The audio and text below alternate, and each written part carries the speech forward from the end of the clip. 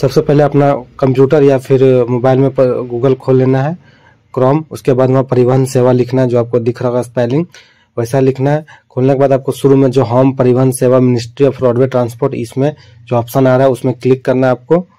और लोकेशन मांग रहा है तो एस नो अपना जो कर सकते हैं। क्लिक करने के बाद आपको जो परिवहन का साइड है, वो minister of road transport and highways वो आपका खुल जाएगा। और उसके बाद आपको यहाँ पे नीचे दिख रहा है ड्राइवर्स एंड लर्निंग लाइसेंस। ये ऑप्शन में आपको क्लिक करना है मोर पे।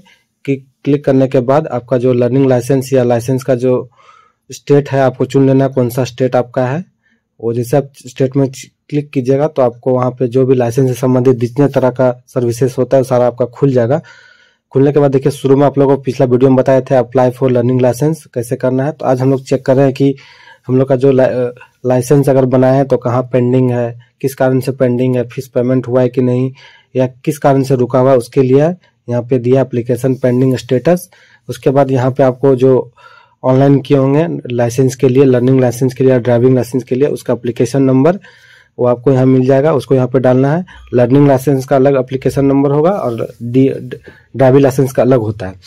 तो आपको जो यहाँ पे हो, वो डाल लेना है, जिसका भी स्टेटस देखना है सो। यहाँ पे अपना एप्लीकेशन नंबर उसके बाद यहाँ पे आपका डेट ऑफ़ बर्थ जो होगा, वो इसमें आपको डाल लेना है। उसके बाद आपको कैप्चा फिल कर लेना है।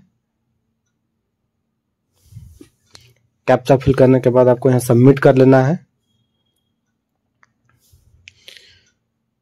सबमिट करने के बाद आपका सारा डिटेल्स यहाँ पे दिखने लगेगा, सारा कुछ।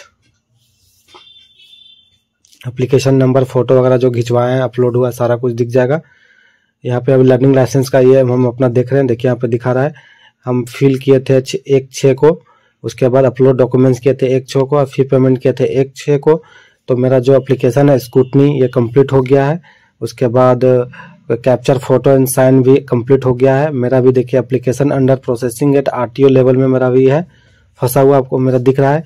और ये जो स्टेज है, वहाँ लर्निंग लाइसेंस जो रिकॉर्डिंग एल टेस्ट जो मेरा लर्निंग लाइसेंस का टेस्ट होता है, दस क्वेश्चन का, जिसमें पाँच क्वेश्चन सही करना रहता है, वहाँ मेरा आके अटका हुआ है सारा देखिए स्कूटनी वगैरह मेरा सारा कंप्लीट है नीचे फ़ी वगैरह सारा कुछ पेमेंट किया हुआ है।